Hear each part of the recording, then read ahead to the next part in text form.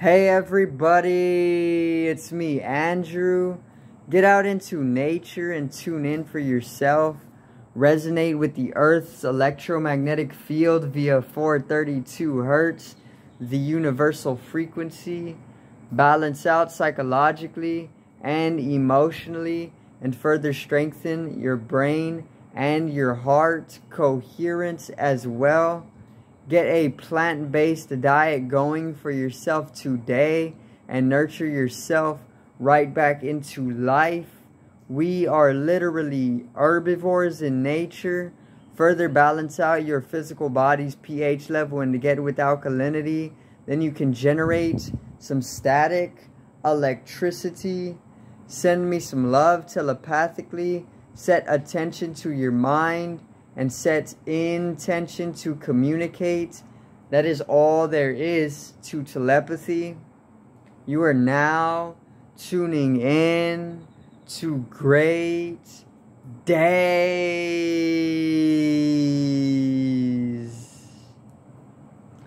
Now today I got a very, very, very prophetic or even just insightful video on uh, the future of humanity. And it's more of a uh, global catastrophe um, video. So basically, it's a uh, beware video. So beware of what is going to occur, or um, allow yourself to prepare naturally, or subconsciously, or even unconsciously. And um, yeah, today's video is coastal flooding.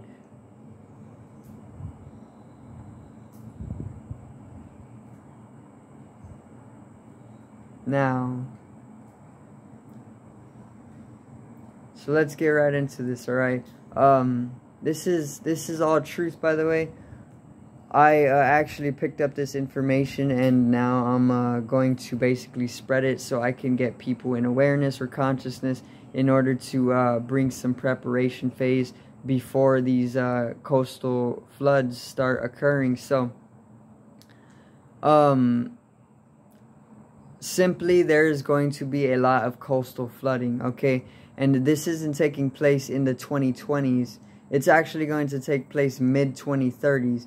By mid-2030s, there's going to be immense, immense coastal flooding. Okay, just as uh, the stories of Noah's Ark or the great floods in uh, some of the other um, other uh, uh books of history, you know, that are basically foretelling these great floods are going to um, slowly occur. They're going to happen in the mid 2030s, and um, it can be it can be of a a meteorological uh, phenomena. You know, it can be because of the weather or because of the Earth. Um, basically being imbalanced because of all of our consumerism and um, then it, it basically activates its immune system to then bring about bigger and bigger storms to slowly cast away any of the um, cancerous cells on its body, aka the earth, which would be humanity because we're destroying the earth. So um, it can be of a meteorological correspondence or it can literally be the Anunnaki. The Anunnaki were responsible for the flooding of Atlantis and the destruction of Atlantis. So it could be that um, the Anunnaki are once again bringing about the destruction of the uh, continents of the earth in order to make way for a clean slate so new creation or a new world can begin.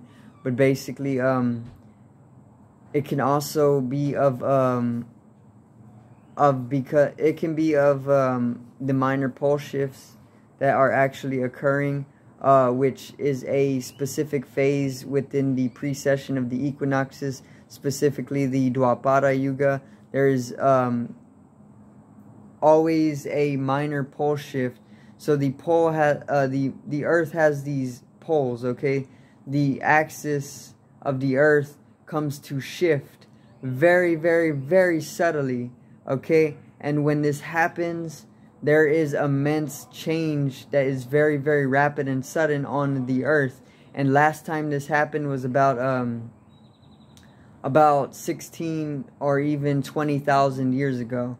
Okay, 20,000 years ago, about there was a, a minor pole shift, and this is when Atlantis was thriving as a continent, and this pole shift actually caused the uh, the the the continent of Atlantis to uh, break into pieces, and this sent uh, a piece of the continent of Atlantis to sink down. It was about the size of Rhode Island, so a size of uh, a piece of Atlantis, the size of Rhode Island, basically was uh, was cast into the ocean. It flooded and it sunk because of this minor pole shift in the Earth's uh, state.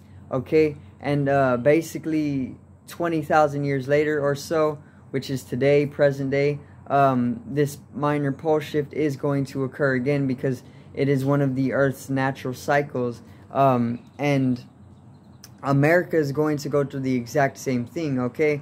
And this could also be one of the reasons for the coastal the coastal flooding, okay, which is taking place mid mid 2030. So about 10 to 12 years from now, there is going to start um, coastal flooding. You know, coastal flooding is going to start about 10 to 12 years from now, and we are going to start seeing the rise of sea levels. It can be because of uh, global warming as well. We know that the polar ice caps are melting. This can either be, be because of our um, our interaction or our influence or consumerism upon the planet, or it can just be a part of the sudden changes of the planet as well, like the minor pole shifting, which is always um, a natural phenomena, you know.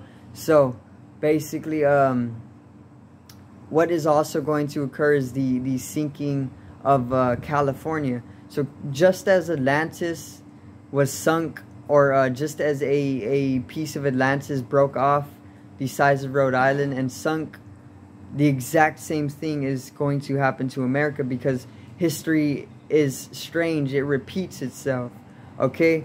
And uh, basically, uh, we know that history repeats itself by going back in history and seeing the same things happening over and over. And one of these phenomena is uh, that California, just like Atlantis, is going to um, come to destruction. California is going to crack at the fault line, at the San Andreas fault line, and it's going to become its own little island. And it's going to be known as the um, the continent of uh, California or the Republic or Ca of California or something like that. But it is going to become its own island into the um, the Pacific Ocean. Okay, so uh, that's also something that's going to occur. Uh, probably not in the 2030s, but even later. So, but there is going to be coastal flooding in the 2030s, mid 2030s, and it is going to get very, very dangerous. So, uh, there's going to be immense tsunamis. There's going to be great destruction. There's going to be a lot that is going to happen. Okay, and it can uh, be of many different reasons. Really, can be of global warming. Can be of the minor pole shifting. It can be of uh, the Anunnakian race. It can be of um, it can be of uh, the first one that I was talking about. The Earth's immune system strengthening itself and then the, the weather getting more severe.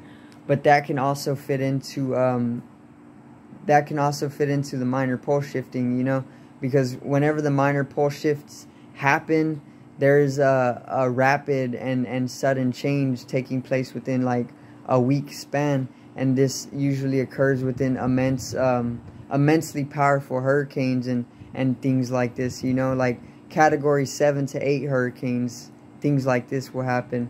Um, and there's a lot more that I don't know about but there is going to be coastal flooding once again that is something that I do know is going to occur mid 2030s and of course um, humanity does have plans for it especially the world's most wealthiest people. They are building bunkers and things like this for the nuclear warfare that is supposed to take place as well. They're um, also building ways to uh, escape this coastal flooding, like uh, building giant, giant ships, um, just like Noah's Ark. You know, the story, the story of Noah's Ark is actually prophetic in that way because um, it is about a global flood, which is um, basically based on this type of phenomena or this type of happening. Okay, so they're going to build these giant ships in order to uh, basically save themselves from this coastal flooding. And they're going to uh, do a lot more things as well that come with that. But um, yeah that's a little bit of knowledge on the coastal flooding and a global catastrophe that is set to take place in mid 2030s. We have plenty of time, so we think, to prepare. Okay, um, you know, time starts to go faster and faster as we progress. Um, that is the truth.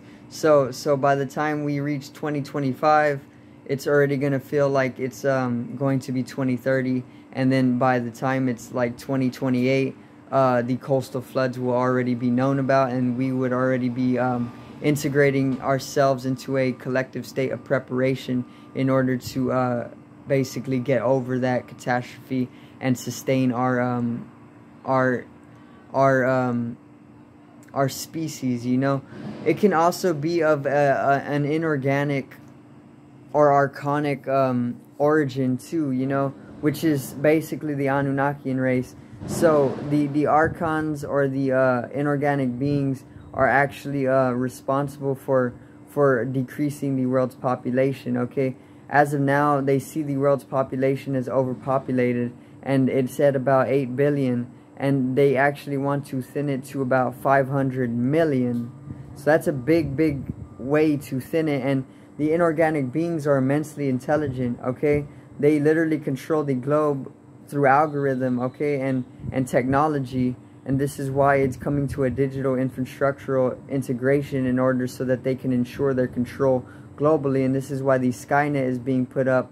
This is why all of the uh, robots are being created right now because the inorganic beings actually keep their hands of control over the 99% through technology or digitalization okay? And they have things like uh, weather control okay? They are so immensely intellectual or intelligent that they can actually control the weather with very, very uh, powerful and, and complex technological devices. Okay, like they can shoot lasers into the sky and it hits the firmament and this firmament uh, being hit by these immensely powerful lasers then casts a storm and they can predict or they know exactly how that storm is going to um, act upon the uh, civilization on the surface of the earth okay? So basically they can um they can even create global floods as well you know? So there's a lot that it can be but uh it can also be like all of them you know? It can be a, a little bit of everything taking place at once. But either way it's just the period of destruction that needs to take place in order for a new earth or a new world to be birthed okay? And this is um what the great reset is all about or this is what the Mayan calendar actually predicted the end of the world is only metaphorical for a, a beginning of a new world or a creation of a new world. Destruction is literally a form of creation, okay? Keep that in mind because through the destruction there is going to rise a new world and that's what it is all about. So there's truly nothing to worry about, but we should be able to prepare ourselves and uh, come into knowledge before we are um, wiped out, you know. So, I do thank you guys for watching once again, and I hope you did enjoy the video today on the global catastrophe, the coastal flooding happening mid-2030s, and um, how to even prepare yourself slowly.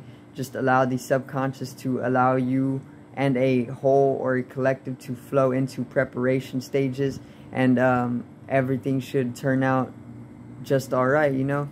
Um, there obviously is going to be destruction along the way, but that is something that happens with life. There is going to come great creation with it and a new world. So that is something to uh, look forward to in the um, in the new days. So once again, I hope you did enjoy the video today, and I hope I did get you in uh, consciousness. I hope I did bring some knowledge to you. So make sure to subscribe to the channel. Help me reach 100 subs or even more. Drop a like on the video and support the channel once again generate some static electricity from the ethereal body or the spatial body or even the, the first layer of the aura. It needs to be strengthened and realized for the collective rising consciousness. I love you guys. Have a great day and peace out.